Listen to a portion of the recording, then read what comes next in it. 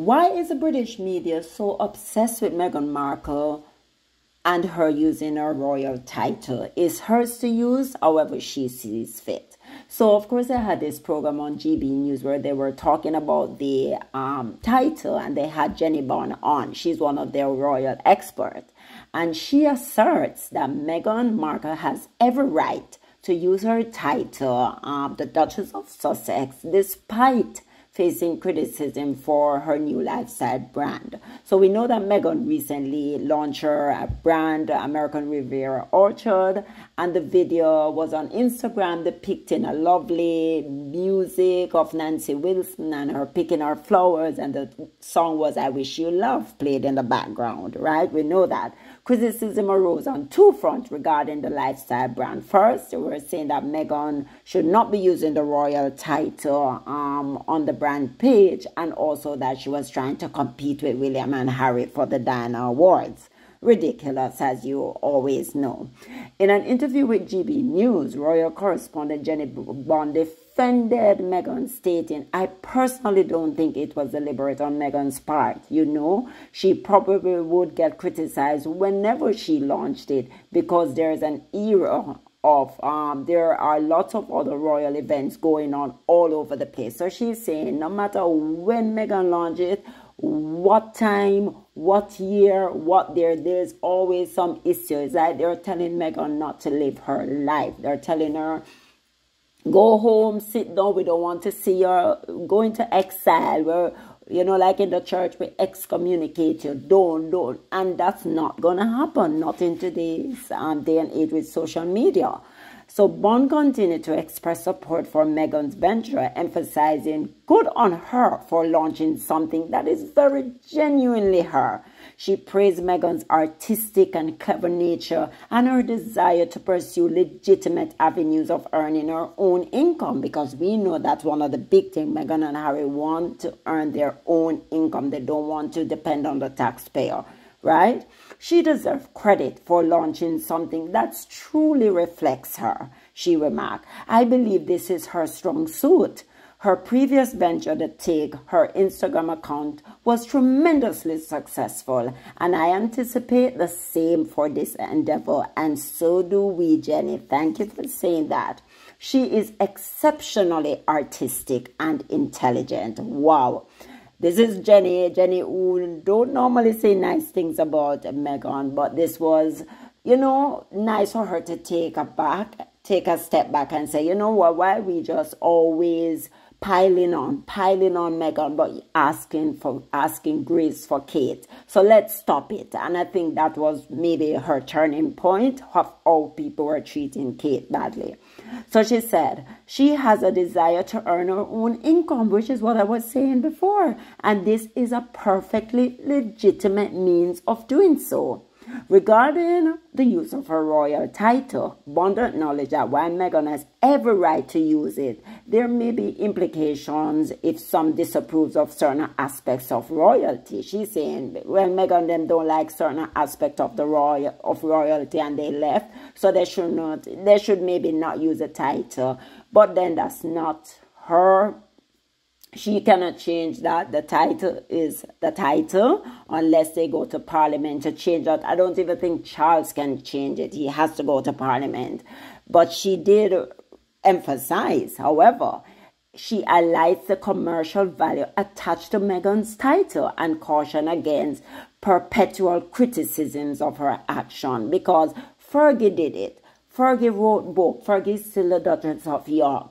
Um, Charles is selling the Duchy of Cornwall all over the place. Um, Charles told the Queen that he was not going to let Camilla be Queen, but she would be Queen consort. No, Camilla is Queen. There are so many things that have changed, but everybody and their grandmother picks, up, picks on Meghan for every single thing. They can't win no matter what they do. And at some point, you have to say, I'm just going to do me, I'm going to live my life, you know? So, according to the report, we know that Meghan's brand is going to cover a wide variety of things, you know, home, garden, food, general lifestyle content, uh, makeup, everything that is all good, you know, maybe organic. We know Meghan is going to go for a lot of organic things because she wants people to live a, you know, a sustainable lifestyle. So, Meghan, kudos to you. I'm so happy for you. The haters can always hate. They can always talk. They can always, whatever. You are not going to change your life to fit into theirs. We have one life to live and you have to live it to the best of your ability. So guys, thank you. That's what I wanted to bring to your attention. Bye. And I'm I'm also going to um, play a tape with Jennie talking about it and just refuting the nonsense and saying, no guys, stop it. Let let's stop. Bye guys.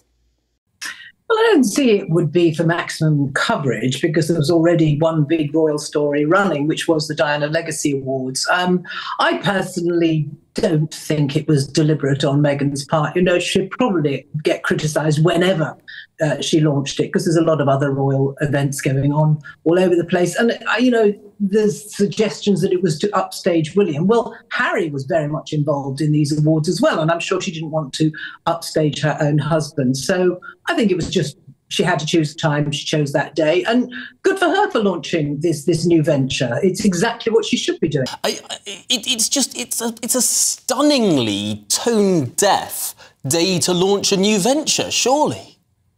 No, what harm has been done? There's been publicity for her venture. There's been plenty of publicity for the Legacy Award. I, I don't see what this great conspiracy theory is all about, or all this criticism.